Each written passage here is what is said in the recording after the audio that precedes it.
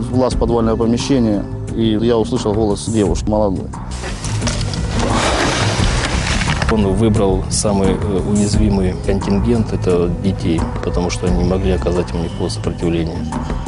Преступления, связанные с педофилией, стоят отдельной строкой, поскольку здесь усматривается невероятная жестокость по отношению к своим жертвам. То, что совершал я убийство раньше, да, совершал. Но это были братья, и я брат, и то были братья. А девочки – это другое. Я ее видела, когда привезли в больницу, она была в ошейнике, в крови вся. Естественно, была как мать. Шок был. Он хотел меня убить. Он хотел убить меня, закопать. Он э, со смаком рассказывал о совершенных им 10 лет назад преступлениях. Мы плакали, мы там рыдали, все. А он сидел за решеткой там и сидит и улыбается. Светлоградский маньяк. Так в Ставропольском крае прозвали 40-летнего мастера надгробных памятников Ивана Панченко. Он прославился своей жестокостью. В течение 10 лет уголовник-рецидивист нападал на девочек-подростков и убивал их. Под землей душегуб оборудовал комнату пыток, куда для расправы приводил малолетних жертв. Для своих утех серийный убийца использовал ошейник, кожаные ремни и целлофановые пакеты – Самой маленькой девочке было всего 8 лет. Как удалось выйти на след особо опасного преступника и кто в этом помог сыщикам? Мы взялись за это дело, провели свое собственное расследование. Это будет честный детектив. Вместе со мной расследование ведет журналист Руслан Насыпов.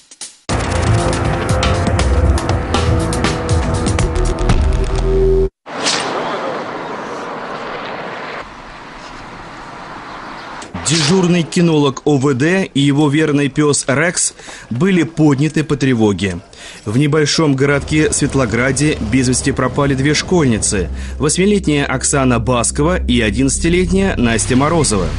Весь день девочки играли и гуляли во дворе. Из окон своих домов их видели соседи и родители.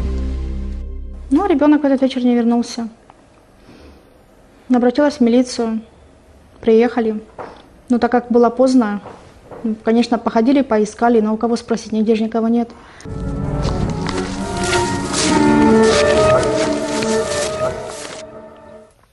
Я ему же говорю, что-то Оксанки долго нету. Говорю, у меня что-то так на душе неспокойно.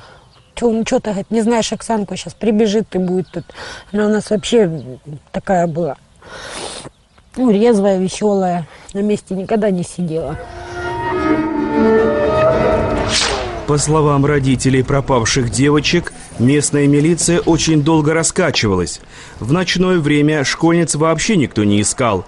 И только утром на месте происшествия появилась группа оперативников и кинолог с собакой. Взволнованные жители Светлограда надеялись, что милицейский пес возьмет правильный след и укажет сыщикам место, где могут находиться Оксана и Настя. Их папы и мамы были уверены, что с девочками ничего страшного не случилось. Думали, они просто заблудились в лесу и не могут найти дорогу домой. Одни сотрудники районного УВД опрашивали население и свидетелей, другие шли по следу, взятому Рексом. Была применена в данном поиске служебная собака оперативная, которая, в принципе, по имеющимся ну, остаткам там, следов, все там вещей. Собака привела в данное домовладение здесь. Ну, при проверке здесь никаких так особо подозрений не выглядело. Ну, только лишь одно было, что товарищ, как выяснилось здесь в ходе с соседями беседы, выяснилось, что данный товарищ ранее судим. Владельца сооружения найти сразу не удалось. Пес Рекс громко лаял и не уходил с места. Кинолог понял своего напарника и посоветовал оперативникам внимательно изучить участок земли и заглянуть во все помещения. При попытке открыть данную дверь навесной замок просто-напросто здесь упал. То есть это уже выглядело как муляжное состояние. Дальше тут, видите, зазоры есть, тут не сильно плотно дверь закрывается было обнаружено, что имеется засов с внутренней стороны. То есть это уже у нас вызвало более полное подозрение. Осмотрев помещение, сыщики никого не нашли, а собака все продолжала громко лаять. Она была возбуждена и не хотела уходить с места. Милиционеры поняли, что похищенные девочки находятся где-то совсем рядом. Но где? Принялись просматривать половое, половой настил. Покрыто все это было пеноплином.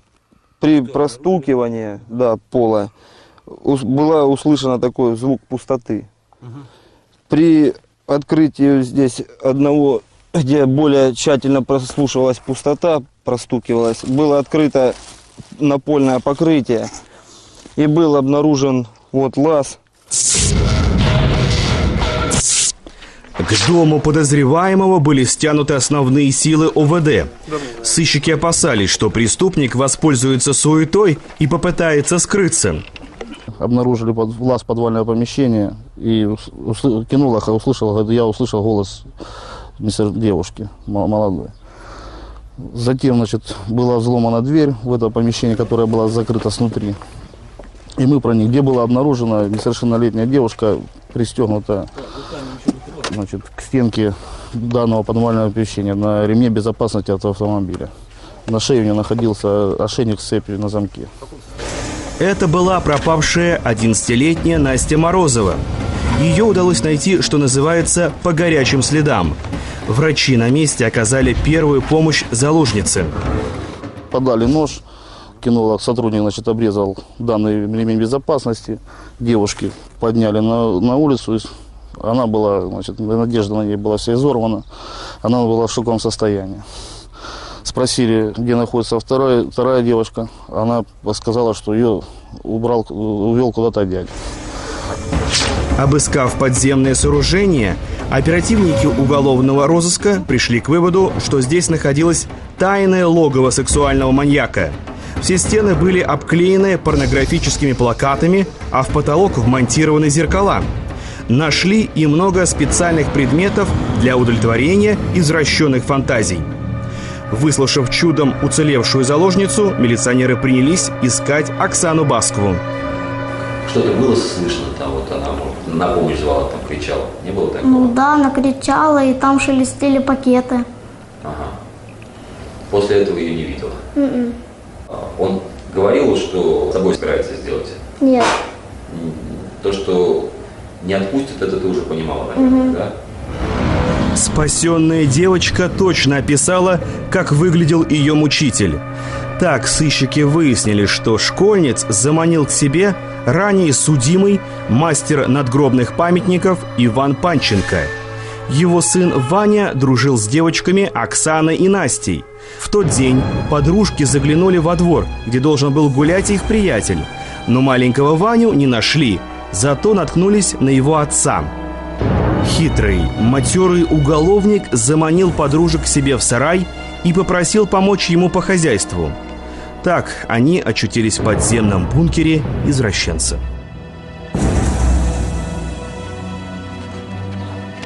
Дальше мы туда спустились. Вот э, там ну, много было дверей. Мы как зашли, он ту дверь закрыл. Потом мы зашли в другую, и он и ту закрыл. Пугались? А, ну, когда туда спустились, да. Потом он сказал, что э, вы теперь отсюда не выйдете, вы в заложниках. То он связал нам руки и посадил. Посадил, да? Да. Ну, когда мы э, что-то пытались ему сказать, он э, кричал на нас. Я ее видела, когда привезли в больницу, она была в ошейнике, в крови вся. Естественно, была, как мать. Шок был. Я бы в тот момент готова была ее разорвать. Да и сейчас в таком состоянии, что могу его разорвать. Пускай дадут нам его, родителям, с которыми он это сделал. Территория, где был расположен сарай и подвал душегуба, находилась в плотном кольце оцепления. Милиционеры сделали все, чтобы опытный уголовник не проскользнул мимо них.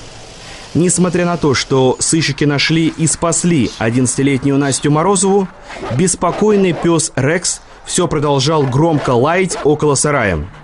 Кинолог настоял на том, чтобы оперативники еще раз проверили всю землянку. По его словам, собака чувствовала, что там есть кто-то еще. И на этот раз Рекс не ошибся. Начали поисковые мероприятия в самом подвальном помещении проводить. Со второй выкопанная яма, где он находился и накрытый был сверху паласом. Значит, когда проникли туда, наступив на него, почувствовали, что под паласом кто-то есть. И когда вытащили, это был Панченко Иван Петрович.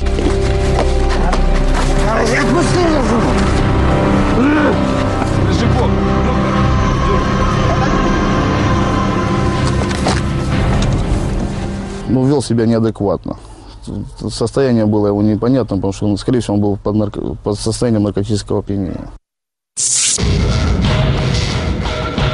Я думаю, что можно назвать его маньяком, потому что он оборудовал подвал именно для э, своих сексуальных утех. Как говорила выжившая девочка, он под влиянием наркотических средств говорил, что он ее будет держать 3-5 лет, что ее родители не увидят, э, что он э, будет жить с ней, называя ее своей женой Беллой. Сотрудники уголовного розыска предположили, что сексуальный маньяк Панченко издевался всю ночь над восьмилетней Оксаной Басковой. И, скорее всего, тело несчастной он спрятал недалеко от своего логова. Обследовав участок мастера надгробных памятников, эксперты обратили внимание на небольшой холмик. Обнаружили свежевыкопанную, перекопанную землю и политую. Значит, для этого взяли щуп. Был обнаружен полиэтиленовый пакет белого цвета. Был он из земли вытащен, где была обнаружена вторая девушка. Задушенная с пакетом на голове. Смерть девочки наступила от механической асфиксии, от сдавления органов шеи петлей при удавлении. Руки, в конце концов, связанные. Вот. На, голов, на голове была одета, одета полиэтиленовый пакет и пакет, обернутый полоской материи, типа пояска с одежды.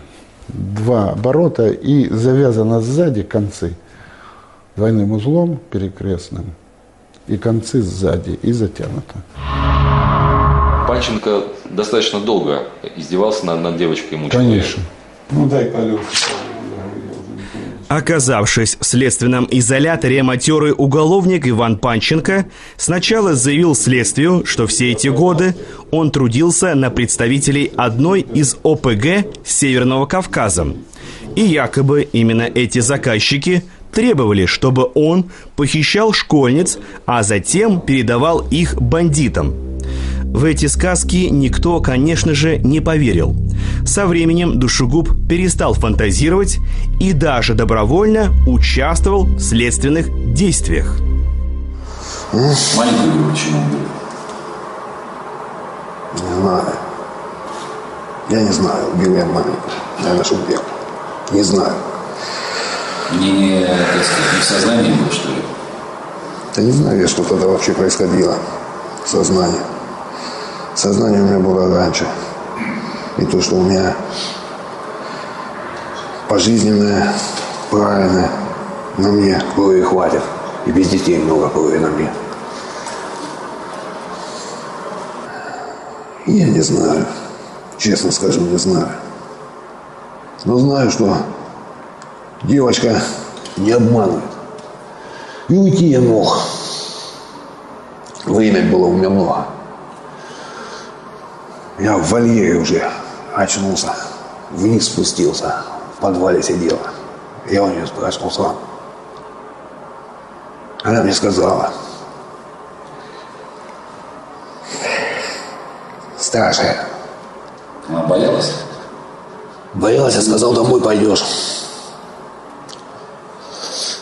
Маньяк. Да не был я никогда маньяком. Не знаю. маньяк. Я животным себя считаю. Не знаю, как это произошло.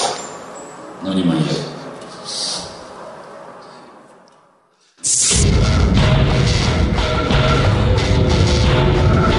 Еще с малолетнего возраста, практически 14 лет, он э, отбывал наказание э, в местах лишения свободы и выходил практически там на месяц, два, полгода максимум. Я обратно возвращался туда.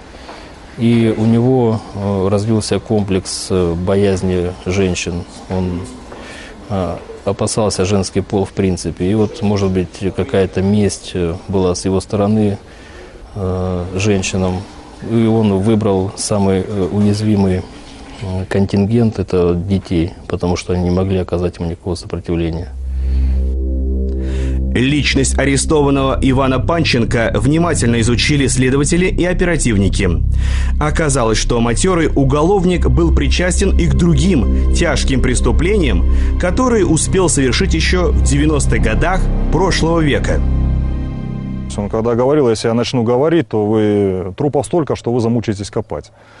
Ну, естественно, все эти данные, которые он говорил, проверялись на территории, в том числе других районов, не только Ставропольского края. Во время следственных действий было установлено, что самое первое кровавое преступление Панченко совершил еще во время службы в армии. Он жестоко избил командира части, а затем сбежал со своим другом Андреем Казначеевым. По дороге домой дезертиры занимались грабежами, но однажды не поделили добычу. Иван Панченко расправился с приятелем-сообщником. Тело расчленил и закопал. Потом долгое время убийца скрывался на Украине. По мнению сыщиков, именно тогда Панченко начал выковывать свой криминальный авторитет и обрастать связями. Отсидев 10 лет в тюрьме, он стал признанным лидером среди уголовников, так как часто устраивал бунты. Говорят, что его даже хотели короновать. После освобождения Иван Панченко вернулся в Светлоград и закрутил роман с Людмилой Маловичко. Родители девушки были категорически против этих отношений. Они требовали, чтобы их дочь бросила уголовника-убийцу. Но Людмила никого не слушала и без ума влюбилась в Панченко. У невесты рецидивиста был родной брат Григорий. Он подружился с Иваном. А вот будущей супруге Григория, 17-летней Оксане Тамаревской, дружба с бандитом также не нравилась, за что девушка в скором времени и поплатилась. Панченко знал, что Тамаревская настроена против него. Подкараулив ее на мосту, кровожадный убийца достал дробовик и в упор выстрелил в Оксану. Девушка скончалась на месте. Преступник скинул тело с моста в реку. Родные Тамаревской забили тревогу и организовали поиск. В этих поисках активно участвовал и сам Иван Панченко. И лишь один человек подозревал Панченко в том, что именно он расправился с Оксаной. Это младшая сестра невесты Ивана Елена. Девочке было 15 лет. Она хорошо училась в школе и мечтала поступить на юрфак, а затем работать следователем. Школьница несколько раз подходила к Панченко и задавала вопросы относительно пропажи Оксаны Тамаревской, а все разговоры записывала на диктофон. Затем эти беседы анализировала и очень скоро пришла к выводу, что с ее подругой расправился никто иной, как сам Панченко. Вот, после того, как он привел Лену Маловечко на вот это место, он э, стал предъявлять претензии по поводу того, что она делала записи, аудиозапись его разговора с ним по поводу Тамаревской. Вот, после чего он нанес ей один удар в голову, она упала. Он ударил сначала рукой. Вот, она сказала, я тебя посажу за эти вещи. После чего он нанес ей удар ногой уже по голове. И она начала на него ругаться. Говорит, что в любом случае, как бы, рано или поздно тебя посадят. После чего он просто руками взял ее за горло и сильно сдавил, пока не услышал хруст. Вот, то есть таким образом он ее здесь убил на этом месте.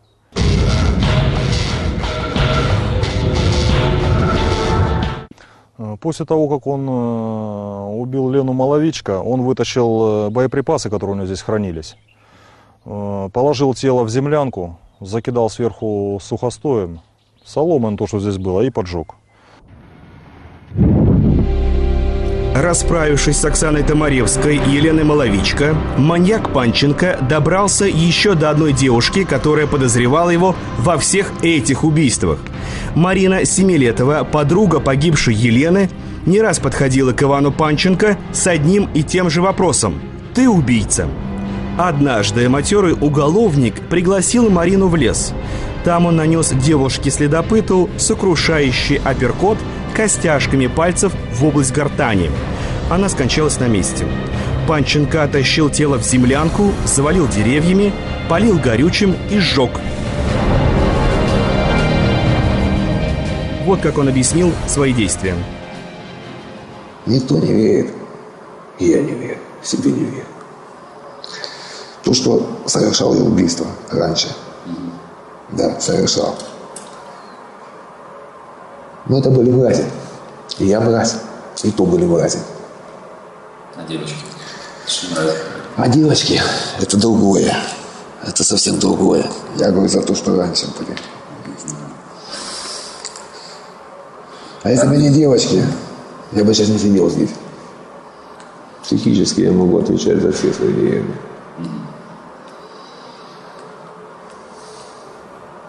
И врачей проходил. Но я не понял. И дурак на себя никогда не скажет, что он дурак. Поэтому я его дурак. В доказательство того, что я нормальный.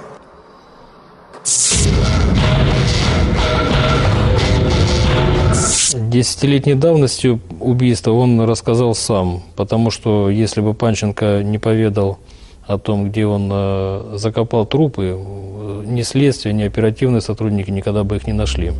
Это было далеко от города, в лесополосах, э, и ни, ничего не говорило о том, что там могут находиться трупы, там, где он показал. То есть это мог знать человек, который э, сам это совершил. Со смаком рассказывал о совершенных им, как 10 лет назад, преступлениях, потом на месте показывал, что он сделал на манекене, тоже отрабатывал, не отрабатывал, а показывал те удары, которые наносил девочкам. И перед камерой он чувствовал себя вполне свободно, раскованно, и даже складывалось впечатление, что он пози- позирует, чтобы это осталось на- надолго.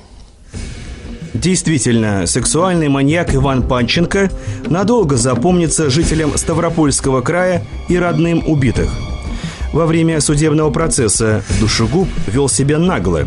На его лице была улыбка, а на вопросы судьи он отвечал неохотно. Перед родными и близкими убитых Панченко даже и не думал извиняться. Видно было, что особо опасный преступник, не раз побывавший на зоне, не боится оказаться там вновь. Похоже, что злился он лишь на себя, и прежде всего за то, что в очередной раз попался. На основании части 3 статьи 69 Уголовного кодекса Российской Федерации путем полного сложения назначенного наказания назначить Панченко наказание в виде пожизненного лишения свободы со штрафом в размере 300 тысяч рублей с отбыванием наказания в исправительной колонии особого режима. Срок наказания Панченко исчислять с момента его задержания Правоохранительные органы Ставропольского края продолжают работу по расследованию дел об исчезновениях несовершеннолетних девочек за последние десяток лет. Не исключено, что к некоторым из них может быть причастен светлоградский маньяк Иван Панченко. В маленьком городке со светлым названием «Темное место, где нашли убитую восьмилетнюю Оксану Баскову» все обходят стороной. Ведь никому не известно, сколько маленьких девочек замучил в своем бункере Иван Панченко. Ну а сам он никогда об этом не расскажет.